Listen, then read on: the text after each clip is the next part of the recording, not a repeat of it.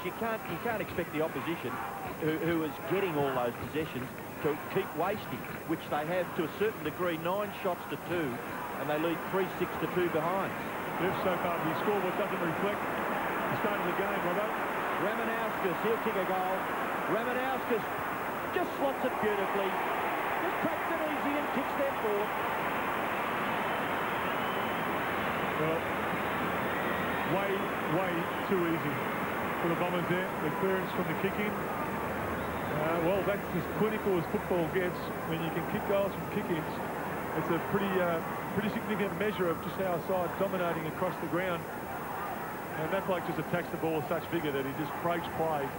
And Essendon often have players out the back that are waiting to clean up the hard work of their teammates. Ramanauskas, great goal.